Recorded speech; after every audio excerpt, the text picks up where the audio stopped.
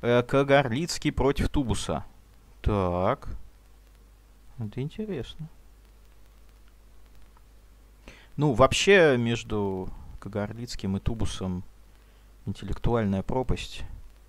Потому что Кагарлицкий очень умный, а Тубус очень тупой. Ну и кроме того, Тубус он скорее сталинист, а Кагарлицкий скорее троцкист. Да, да. да. Если так хорошо, такой велопробег по реконструированным дорогам, да? Ну, это, кстати, было бы хорошей темой. А, да. Вот, кстати, в кадре Данил Григорьев, э, с которым у меня был совместный стрим. Рекомендую послушать на основном канале запись. Ну и еще перед тем, как будем... Тоже очень толковый молодой левак. Задать вопрос, я пока прошу, опять же, задать вопрос, желательно с донатами. Так вот, пока буду задать вопрос, еще домашнее задание, да, дело в том, что мне домашнее задание, потому что на одном из прошлых стримов было несколько вопросов, на которые я был не готов ответить. Я на них постепенно буду отвечать вот, э, стрим за стримом. Но вот пока э, по одному домашнему заданию отчитываюсь. Меня просили прокомментировать, как раз сейчас подходит юбилей Пражской весны, 68-2018 год, и вот э, прокомментировать видео на Тубус Шоу под названием «Как побрить ежа». Я это посмотрел и, честно сказать, пришел в ужас, потому что, ну, начнем с того, что там где-то... Да, это видео этого Тубуса как раз. Это авторы этой программы, они, ну, скажем так, э, ну, просто э, неграмотны, да, но понимаете, это отдельная такая штука, потому что ты ловишь человека на какой-то ошибке, потом говоришь, а, вот он сделал эту ошибку, значит, все целиком тоже никуда не годится. Это не всегда работает аргумент, но тем не менее, все-таки мы должны как минимум знать, что теоретик и автор э, чехословацкой экономической реформы его звали не Отто Шик, как вот фон Бисмарка, допустим, да? Или а, Отто Вайнингер. Да, да, да. А Ота Шик, да, то есть он все-таки не немец, а чех немножечко. Вот. А, но это мелочь, это все полная, конечно, чепуха, потому что если бы все было так то можно было простить подобные вещи, хотя их там довольно много, просто сейчас некогда вспоминать, там просто действительно вот на каждом шагу, но, а, но в принципе... Пишет, Ежи, зачем тебя брить, ты же скинхед. Есть такое. Конечно, это удивительно, потому что такое впечатление... Когда... Ну, я, я всегда, кстати, я привык бриться очень коротко, с определенного момента, потому что, ну, когда я был сильно молодой, в моде еще были длинные прически у молодых людей. Вот. Ну, это по фильмам даже видно, как бы. какие раньше прически носила молодежь. Вот. Но потом я привык коротко бриться, ну, стричься имеется в виду, из-за того, чтобы не было проблем никаких с волосами, потому что, ну, типа, когда у тебя длинные волосы, там надо голову мыть чаще, там, а если ты живешь где-нибудь там в юрте, у тебя нет такой возможности, поэтому, чтобы меньше проблем было, просто коротко стрижешься и все, как бы, все, пока там волосы отрастают, меньше, меньше с ними проблем. И поэтому я никогда не понимал людей, которые комплексовали из-за того, что они лысеют. То есть, что вот типа мужчина или молодой человек начинает лысеть, и у него какие-то дикие комплексы из-за этого, что типа, а, я лысею, у меня мало волос, все, пиздец, как бы жи- жизнь окончена. Я никогда этого не понимал, потому что, типа, ну, ты, ты лысеешь, у тебя меньше волос, как бы тебе реже надо стричься. меньше. То есть, если бы я облысел в какой-то момент, э, просто меньше проблем было бы с волосами и все. То есть, ну, проблема в том именно, что вот я, я совсем не лысею, то есть у меня нет залысин никаких, поэтому мне приходится стричься. А так бы, ну, просто, просто не стрижешься и все. Нет волос, нет проблем. Вот такое мое мнение. Я не, я не знаю, почему у нас зашла речь сейчас об этом. Э, люди собрали вот все агитки брежневского времени, причем даже не критически их как-то запустили, не очень даже думая, как вот это все с точки зрения не только что достоверности, но вообще просто логики. Еже, как ты относишься к либертарианцам? Ну, это избыт, избитая тема. К минархистам хорошо отношусь, к анкапам плохо.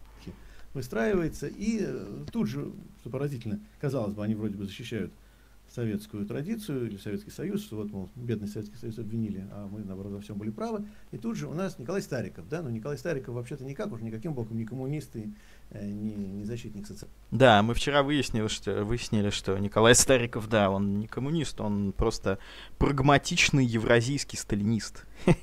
То есть он Сталина любит скорее как монарха некого такого, да, некая сильная политическая личность в истории 20 века социализма. Но тут вдруг Стариков превращается в ведущий авторитет. Причем тоже любопытно, потому что Стариков ведь э, ну, тоже по-своему логичен, да, то есть любой бунт, любое недовольство, любое возражение против власти, это есть зло, да. Поэтому как бы не надо было против Советского Союза выступать, и против Путина выступать не надо, да, ну и против царя не надо. Ну, то есть такая хранительская позиция сугубо. Видите, Кагарлицкий не любит сталинистов, не любит Сталина. Выступать. Ну и, в общем, был бы сейчас у власти Гитлер. Ну и, кстати, Даниил Григорьев тоже. Сталин бы нам сказал, что и против Гитлера не надо выступать. Потому что, в принципе, выступать против начальства это неправильно. Э, но вообще, говорю, повторяю, люди, которые себя позиционируют как э, какие-то там в общем, Спрашивают, что делать, если борода не растет. Ну, то точно так же, блядь, меньше проблем. Как бы не, не, не растет борода, меньше надо бриться. У меня растет борода. Ну, понимаешь, у меня борода, она выполняет как бы важную э, тактическую функцию. Как бы у меня борода играет функцию такую маскировочную, потому что моя борода, она скрывает второй подбородок. То есть в, мо- в моем случае, понимаешь, борода это как маскировочная сек- э, сетка такая, знаешь, которую натягивают, чтобы как бы не было видно э, как бы тыловых складов продовольственных. А я, да, и третий тоже, вот правильно в чате пишут, второй, третий, как бы и все последующие. А если у тебя не, не, не растет э, борода, ну просто, просто тебе бриться не надо, как вообще, вообще никаких проблем. Я, я вообще не понимаю вот этих проблем э, молодых людей с внешностью, да, то есть я могу понять, когда девушка комплексует из-за своей внешности, потому что если она родилась конвенционально непривлекательной, то просто меньше шанс, что в ее жизни будет что-то хорошее. Почему? Потому что девушек, в общем-то, ну, оценивают в основном по внешности. И ты можешь быть сколько угодно там умной и все такое, но если ты некрасивая конвенционально, то, ну, все, тебе пиздец, как бы. Скорее всего, у тебя будет хуевая жизнь, и ты окончишь жизнь свою одна в окружении большого количества кошек, вот, которых ты заведешь, чтобы компенсировать, э, значит, одиночество и недостаток общения с живыми людьми. А вот молодые люди почему комплексуют из-за внешности? Вот этого я понять никак не могу. Почему? Потому что, ну, блядь, тебя в любом случае не будут оценивать по внешности, тебя будут оценивать по э, как бы количеству денег, тебя будут оценивать по положению в обществе, тебя будут оценивать по харизме, по тому, насколько ты индивидуальность, личность, э, по тому, насколько ты там харизматичен, а харизматичные люди бывают очень внешне непривлекательные, э, вот, то есть вот, допустим, какой-нибудь Ленин или Троцкий или Сталин, да, то есть, ну, очень, очень хуево они выглядели, скажем так, но при этом они были дико харизматичные товарищи. Причем Сталин, он даже оратором ни разу не был, он очень плохо говорил и с сильным акцентом. Вот. Хотя, хотя по Голковскому это, это не настоящий акцент. Вот. Ну, то есть не комплексуйте из-за внешности, комплексуйте из-за того, что у вас денег мало. Э, как бы, что у вас низкий социальный статус. Вот, вот из-за этого вы можете начать комплексовать. А из-за внешности это а пишут, Сталин был няшным хипстером, пока оспой не переболел. Ну да, в целом, но типа он все равно был никудышный оратор, а в революционной среде это больше всего э, ценилось. Большая, большая часть дореволюционных статей Ста Сталина, они были написаны Бухарином на самом деле. это так для справки. Вот. А по поводу, да, болезнь, болезнь могла изуродовать человека вообще очень серьезно, потому что Надежда Константиновна Крупская, она в молодости была очень симпатичной, но потом переболела базедовой болезнью, и это ее изуродовало.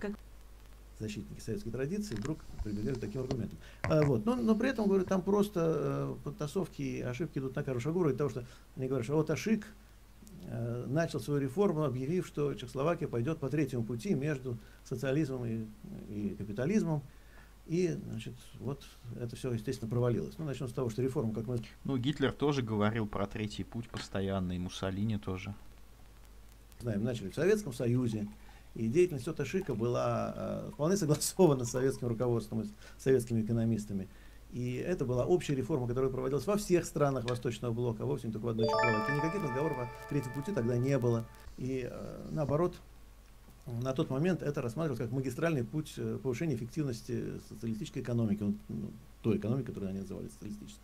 Что касается третьего пути, то да, уже потом, в 70-е годы, вот Ашик написал книгу «Третий путь», где, э, опять-таки, все равно отмежевывался именно от капитализма. Она была написана уже на Западе, и, опять-таки, он э, призывал все-таки каким-то образом преодолевать существующую капиталистическую экономику, не попадая вот в ловушку экономики советского типа или системы советского типа. То есть э, ну, главная мысль, да, которую нам пытаются внушить авторы этого шоу, стоит в том, что все эти люди, они тайком пытались протащить э, капитализм в Чехословакию. Но на самом-то деле все было ровным счетом наоборот. Эти люди как раз пытались предложить такую модель социализма, которая позволила бы экспортировать социализм на Запад. И более того, они э, не просто придерживались таких взглядов, они продолжали эти взгляды придерживаться, когда их выдавили из Чехословакии, когда их отправили в эмиграцию. И, в общем, ни один из сколько-нибудь известных Э, чехословацких иммигрантов или диссидентов, ветеранов Пражской весны, не перешел на либеральные позиции. Ни один не перешел на э, правые позиции прокапиталистические. Они все оставались социалистами, они все на Западе продолжали выступать против э, правых, против либералов и так далее. Тот же Ежи Пеликан был членом социалистической партии и депутат. Ежи Пеликан, видите. Депутатом Европарламента социалистической партии. Опять же, занимал очень левые позиции и Сденек Млынерш, и тот же Оташик и так далее. То есть а, кстати говоря, это относится... Ну, с точки зрения Тубуса, это все равно все контрреволюция, потому что они против советской власти выступали. К э, Александру Дубчику, которого либералы, победившие в Чехословакии, же потом в Чехии в 89 году э, старательно маргинализировали и, в общем, отодвинули, да, а максимально старались отодвинуть. И что очень интересно, они же пытаются Пражскую весну показать как некое такое вот преддверие или первую репетицию того, что произошло в 89 году. А на самом деле все было ровно наоборот, потому что как раз э, об этом, кстати, есть целый ряд очень интересных работ, где показано, как либералы боролись за то, чтобы не допустить повторения. Вы, кстати, сказали, что Лейба Бронштейн был стремный и некрасивый. Вы не боитесь, что Юра может услышать эти слова. Но если Ю, э, Юра услышит, что ты сравниваешь его с Троцким, он на тебя обидится в первую очередь. Нет, «Пражская весны» в 89 году. Ну, вообще, да, Юра мог бы Троцкого сыграть, на самом деле. Я не знаю, почему он не хочет этого. Почему он стесняется. Все пошло по другому пути, они действительно добились своего, потому что ситуация уже была совершенно иной. И э, в том числе благодаря тому, что коммунистическая партия была тщательно зачищена при Гусаке и, собственно, вот реформаторов коммунистов, которые могли бы реально на равных и успешно бороться с либералами. Это не гость, это помощник. В том числе идеологических всех, естественно, выкинули из партии. И, э, в общем, никто из них, естественно, опять же, не сыграл существенной роли в дальнейших событиях. Но это очень легко сравнить как раз с тем, что было у нас, где как раз вот эти все профессора научного коммунизма, все эти ортодоксальные коммунисты, вроде того же Бориса Николаевича Ельцина, ну и прочее, тогда они все заняли, естественно, за э, уже пять минут перевернувшись, вполне такие про западные право-либеральные антикоммунистические позиции. Поэтому, в общем, я очень прошу не доверять подобного рода компиляциям, повторяю, в общем, не любит, не любит Кагарлицкий тубуса. Очередной раскол в левом движении. Троцкисты против сталинистов.